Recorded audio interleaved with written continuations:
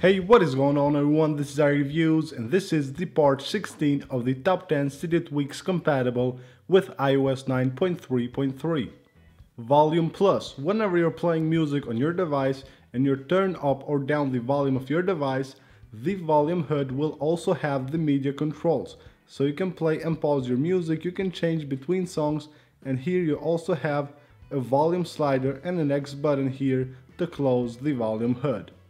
Status peek. Whenever you're on full screen mode and you want to take a quick look at the status bar of your device, all you have to do is just swipe here and it will show up the status bar and then it goes away automatically.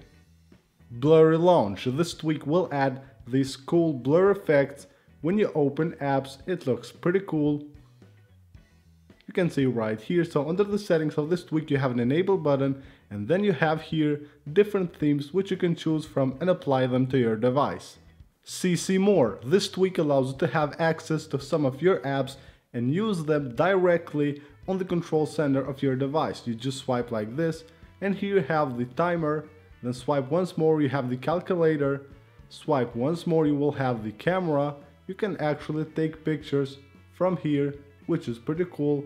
And then you also have the notes app. You can go ahead and take notes directly from the control center of your device. Fold locked this tweak will add this cool animation to the lock screen of your device. You can see when you slide to unlock it will fold the page. It looks pretty awesome. This tweak doesn't have any options to configure.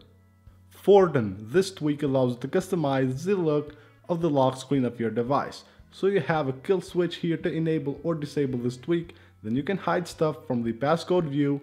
You can enable visual effect like you can remove the blur. You can enable faster animations and then also you can remove the grabbers, remove the album artwork.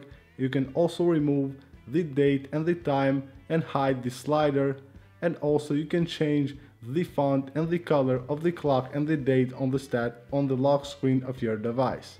Lotus, this tweak will add a clear cache shortcut to the 3D Touch menus of your apps so you can easily clear the cache of your apps directly from the 3D Touch menu. Any banner, this tweak will add cool animations to the banners of your device. You can also change their transparency and blur. So under the settings of this tweak you have an enable button, then here you can enable animated transparency, then here you have the tint color, here you can set the animation speed and the corner radius and then you can test the banners right here. You can see this cool animation on the banners. It looks pretty awesome. Now listening. This tweak will show a banner when you're playing a song so when the song changes it goes to another song it will show you the banner right here and shows you which song is playing. You can also show it using an activator gesture here double tap on the status bar it shows the banner with the music info and you can also tap on it to go to the now playing app. Flat chevron. This is a simple tweak for the notification and control center. What it does is that it will make the chevron flat. Now normally this is like an arrow, but this tweak makes them flat. This tweak doesn't have any options to configure. So that's it for this video guys, I hope you guys enjoyed it. For more videos make sure to subscribe. Also go ahead and follow me on my social media, you can find the links in the description of this video.